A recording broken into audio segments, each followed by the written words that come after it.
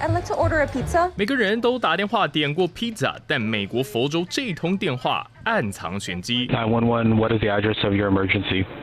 Yeah, I would like to order a pizza. 刚开始接线人员还一头雾水， Where you're calling 911? Yes, I'm sure I'm calling to that number. Trying to get a pizza. 不过九一一接线人员不愧阅人无数，马上察觉情况不对劲。 Do you have any weapons? No, You know his name? I do not. I don't know. See, 接线人员立刻通报警方，根据点餐地址及时阻止一场悲剧。 He's trying to rape me. Can you help Get off her now. help me? Get off her now. Okay.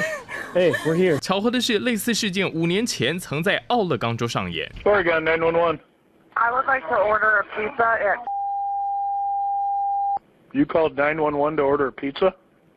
uh yeah, apartment This is the wrong number to call for a pizza. no no no no no no no no no no you're not I'm getting. 当时这位接线人员提姆也是反应灵敏， I'm getting you now. The other guy still there? Yep. I need a large pizza. All right. How about medical? You need medical? No.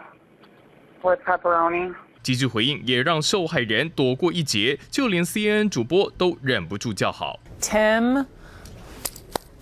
Bravo, sir. 受害人急中生智，接线员举一反三，成功化解致命危机。He should not, fingers crossed, be going anywhere or getting back out again anytime 三立新闻综合报道。